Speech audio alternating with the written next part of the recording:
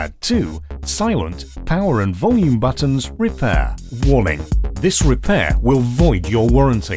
You are performing this repair at your own risk. We claim no responsibility for any damages that might occur.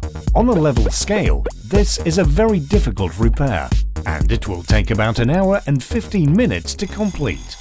To perform this repair, you will need double zero Phillips screwdriver, spudger, metal pry tool, tweezers, heat gun,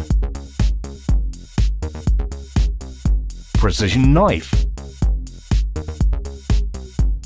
Optional, we recommend using Magmat for all your repair needs. See Magmat in action, see our Magmat video. All these products and tools can be purchased at iPhoneRepairMiamiBeach.com. Don't forget to subscribe to our YouTube channel, like us on Facebook and follow us on Twitter. Turn off your iPad.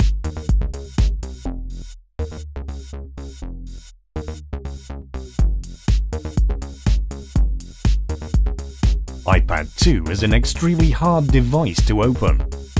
When prying off the front glass, be extremely careful not to tear Digitizer Flex cable. Wi-Fi antenna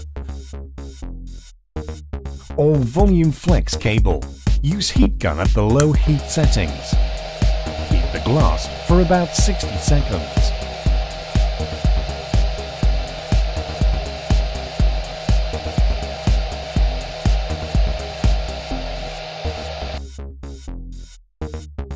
Insert metal pry tool between the front glass and the plastic bezel. Use spudger. Start prying off the glass on the right side of the iPad and work your way around. If the adhesive is difficult to separate, use heat gun and heat the glass again as necessary.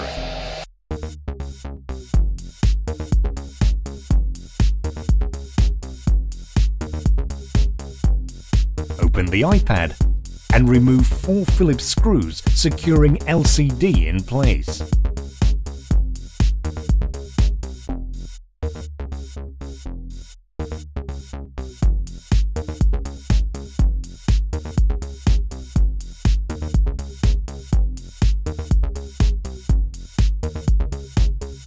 Insert spudger on the right side of the LCD and lift up the LCD. Disconnect the LCD cable and remove the LCD. Lift the flaps.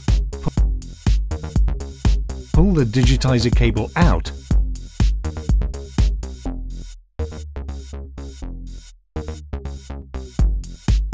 and remove the digitizer. Peel the rubber cover off the metal camera bracket. Remove the following two Phillips screws securing camera bracket in place.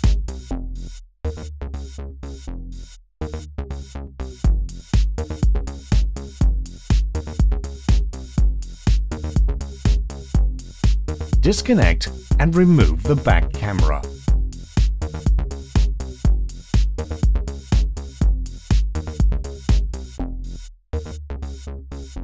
Remove the following two Phillips screws securing power button bracket to the housing.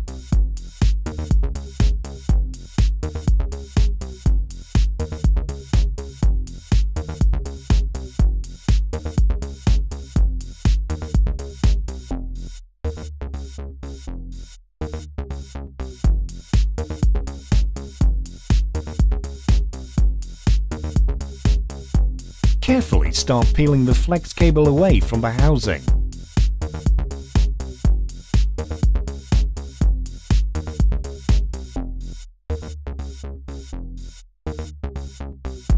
Remove the following three Phillips screws securing silent and volume button bracket in place. Make sure not to lose small black bracket.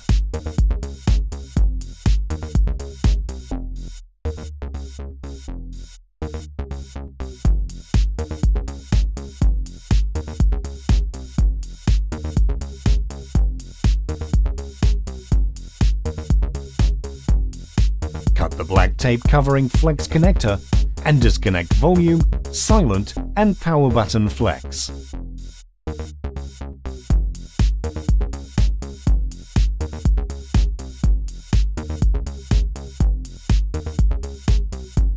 Carefully remove the volume, silent and power button flex.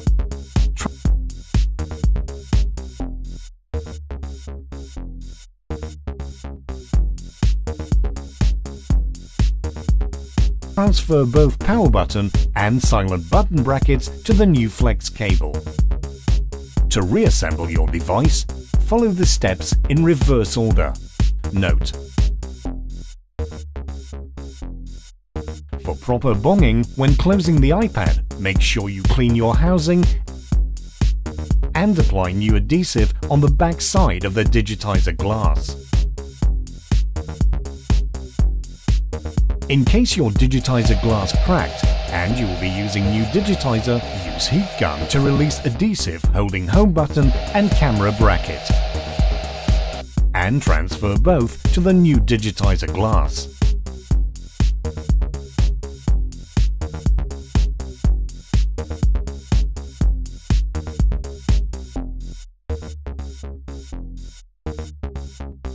When closing the iPad, make sure Digitizer Flex is completely pushed under the LCD. If not, Digitizer will not adhere properly to the housing.